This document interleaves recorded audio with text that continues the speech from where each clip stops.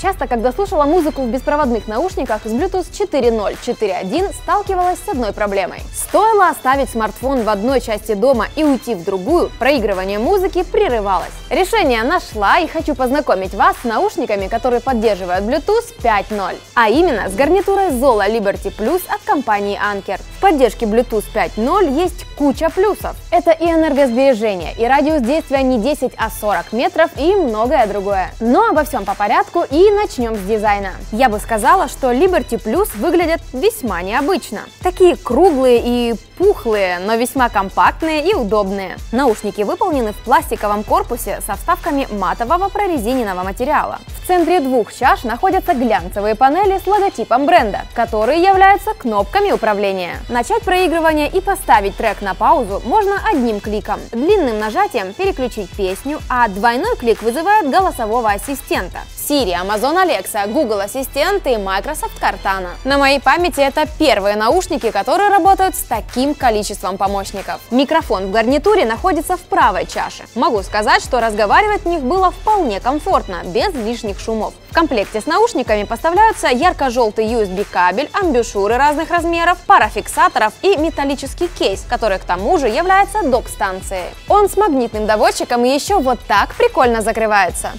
Кейс не маленький, но это было сделано в целях увеличения автономности самих наушников. К тому же гарнитура с автоматическим включением. Достаете из кейса, включается, возвращаете обратно, наушники отключаются. Анкер называет эту технологию Push and Go. А теперь поговорим о самом главном – звуке. Фишкой Zola Liberty Plus стали композитные мембраны, которые на 95% состоят из графена. Этот материал не только раз в 100 прочнее стали, но и меньше по весу. Анкер утверждает, что использование графена сделало звук более качественным и улучшило спектр частот. Что по факту? Меня звучание Liberty Plus приятно удивило. Во-первых, они реально громкие. Лично для меня оптимальным было прослушивание на 70-80%. Во-вторых, слушала я рок, дип, клубную музыку. Все стили и направления они проигрывали классно. Никаких завалов, есть тут нижние, средние и верхние частоты. А ощутимы басы, чистый вокал и все это при хорошей шумоизоляции. А если во время прослушивания музыки все-таки нужно слышать окружающие звуки, просто используйте режим прозрачности. При его включении активируется микрофон, который будет передавать в ухо все, что улавливает вокруг. Это актуально в местах с оживленным транспортным движением или при беге. Еще наушники надежно фиксируются, а значит не выпадут даже при активных занятиях спортом. К тому же уровень влагозащиты такой, что можно не бояться попасть под дождь или даже ливень. Беспрерывно на среднем уровне громкости они проработали у меня где-то 3,5 часа. А вот если периодически дозаряжать в кейсе, то заряда гарнитуры хватит на 2 дня. Следить за состоянием аккумулятора, да и за наушниками в целом, удобно в приложении Zola Life. Там же можно настроить режим прозрачности, функцию голосового помощника, подкрутить эквалайзер и даже найти потерянные наушники. Это прикольно. И вообще, если сравнивать с предыдущей моделью, то производители сделали большой большой шаг вперед. Младшие Zola Liberty поддерживали Bluetooth 4.2, их заряда аккумулятора хватало на сутки, не было режима прозрачности и приложения.